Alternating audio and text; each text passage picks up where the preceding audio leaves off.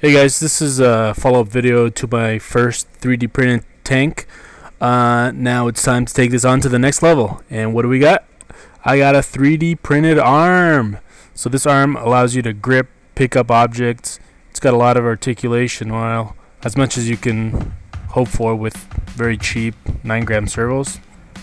Here I am printing uh, one missing piece. I have actually printed this arm out uh, like a couple of months ago and I just decided to just glue it on and I was missing one piece so I was printing that out and here I'm gluing the the base of the arm to the to the tank base with some hot glue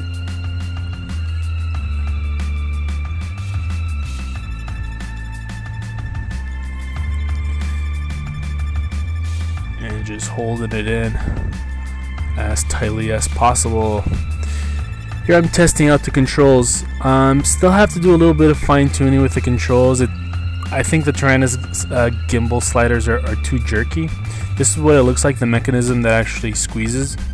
Here it's holding a battery. And I'm trying to keep the cables as neat as possible so that they don't get caught or yanked out of the receiver, or out of the servo.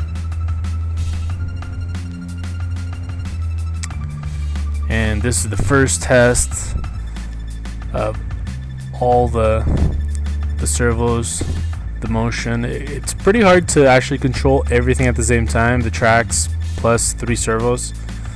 So I still have to figure out a better configuration on the remote.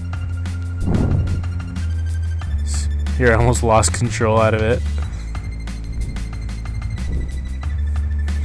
Yeah, I'm taking it for a test drive see how she uh, handles it's really hard to actually like pick up something like the it's almost like the the brush the brush motors are not as precise. So when you go forward it just jerks forward instead of moving nice and slowly. And that's a an ovation. Clapping hands there.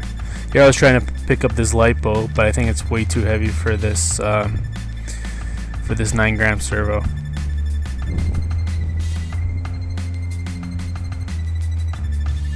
and here I'm picking up the tiny whoop. And I was trying to just pick it up and like drop it into the Tupperware. But the control is still even though I have I did put some expo on the tracks it's still very jerky. I also have a problem where the both tracks don't start at the same time. So I've been offsetting one track with the other trying trying to make them match up. So it's like it's a little bit tricky. So yeah guys if you guys want to try printing a tank like this. Uh, all the links are below, the ports are used, and uh, I'll see you guys next time. Please subscribe, and uh, I'll catch you guys later. Bye.